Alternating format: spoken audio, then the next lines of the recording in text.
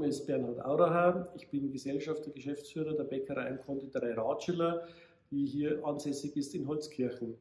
Unsere Firma besteht seit 40 Jahren und wir betreiben ca. 50 Läden, die von Kiefersfelden bis nach Fürstenfeldbruck reichen. Außerdem haben wir sehr viel Liefergeschäft.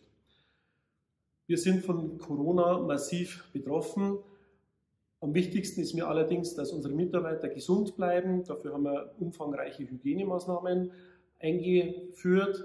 Und das zweite Wichtige ist natürlich auch, dass es wirtschaftlich bei uns weitergeht.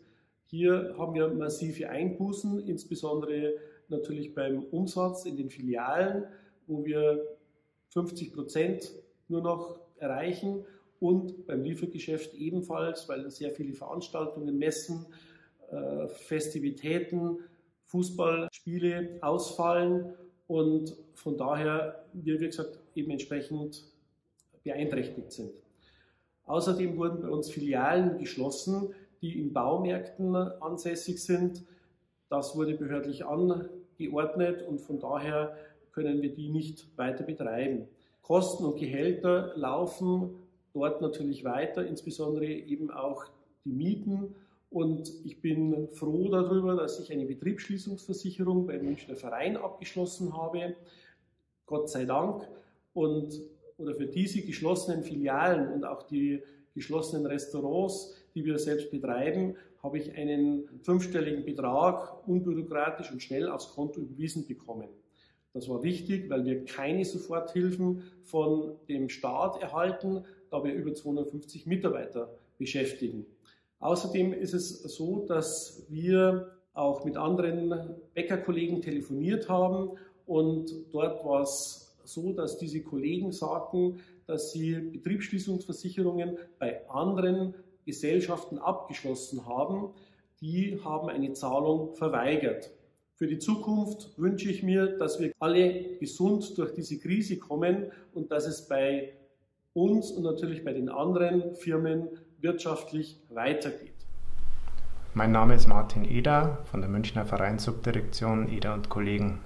Der Coronavirus hat uns alle auf den Prüfstand gestellt. Dieses Jahrhundertereignis äh, kam mit einer Geschwindigkeit auf uns zu, äh, die sich keiner vorstellen konnte. Demzufolge war auch der Münchner Verein als traditioneller Handwerksversicherer gefordert, hier schnelle Lösungen zu bieten und Verantwortung zu übernehmen. Nach dem Anruf von Herrn Auracher, der mir die besondere Situation geschildert hat, habe ich sofort mit unserer Direktion Kontakt aufgenommen. Unser Vorstand hat entschieden, die Kunden nicht im Stich zu lassen und uneingeschränkten Versicherungsschutz in der Betriebsschließungsversicherung zu gewähren.